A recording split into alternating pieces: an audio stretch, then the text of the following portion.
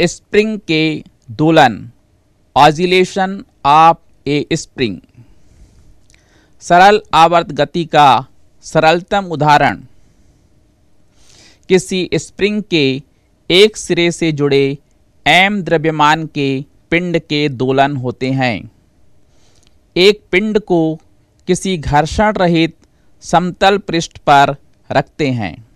यदि पिंड को जो के स्प्रिंग नियतांक वाले स्प्रिंग से जुड़ा है, उसकी साम्य स्थिति x बराबर ज़ीरो से किसी एक ओर थोड़ा खींचकर छोड़ दिया जाए तो वह अपनी साम्य स्थिति के दोनों ओर इधर उधर गति कर रहा है, जिससे चित्र दो में धन ए और ऋण ए स्थितियाँ साम्य स्थिति के दाई ओर और बाई ओर अंकित हैं, जो पिंड के अधिकतम विस्थापन को दर्शाती हैं।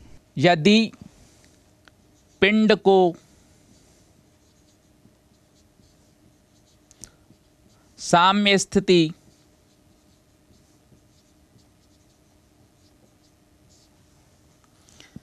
से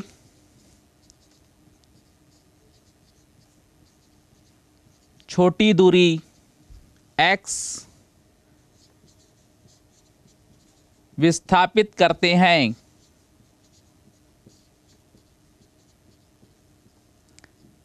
तो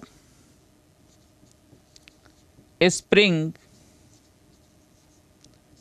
खींच जाता है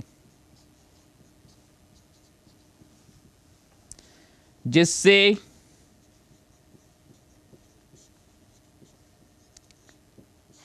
स्प्रिंग पर रीस्टोरिंग बल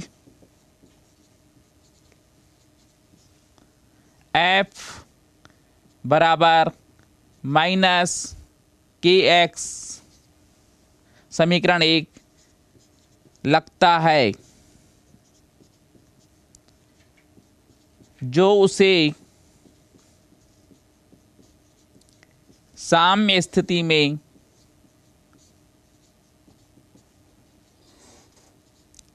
लाने का प्रयास करता है।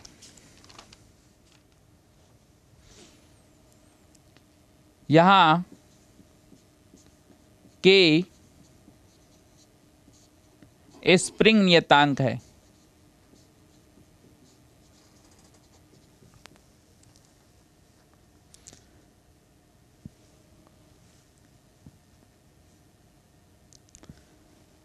बल, विस्थापन के बल F विस्थापन x के, विस्थापन x के समानुपाती है।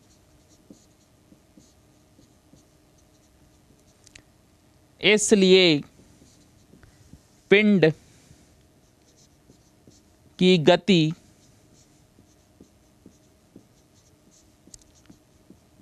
सरल आवर्त गति है।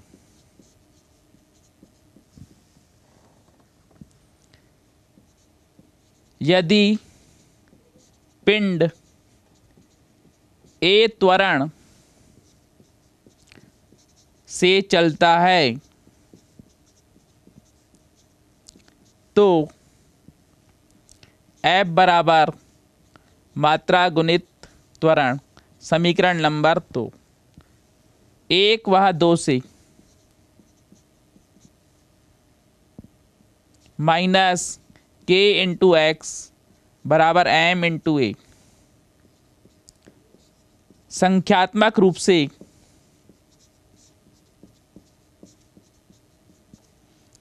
के एक्स बराबर एम इंटू ए या एक्स बटे ए बराबर एम बटे के समीकरण नंबर तीन।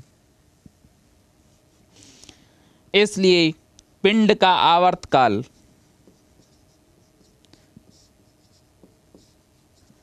टी बराबर टू पाई वर्गमूल विस्थापन बटे त्वरण।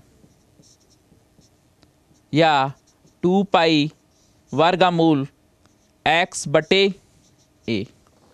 अब हम एक्स बटे ए का मान समीकरण तीन से रखेंगे।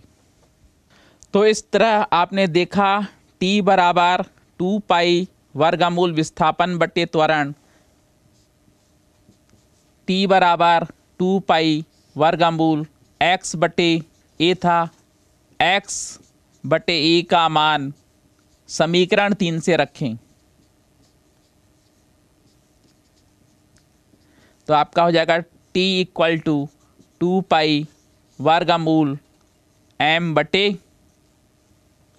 के इस तरह यदि कोई पिंड स्प्रिंग से क्षैतिज में जुड़ा हुआ है तो उसका आवर्तकाल टी बराबर two pi under root M बटे क्यू होगा।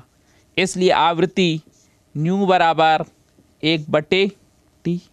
न्यू बराबर अब टी का मान रख दीजिए आप। Two pi under root M बटे के या nu equal to one upon two pi under root K बटे एम। इस तरह ये इसके आवृत्ति का व्यंजक हो जाएगा, जहाँ के आपका स्प्रिंग नियतांक है एम पिंड का द्रव्यमान है और ये सरल आवर्त गति कर रहे कण की आवृत्ति का मान हुआ।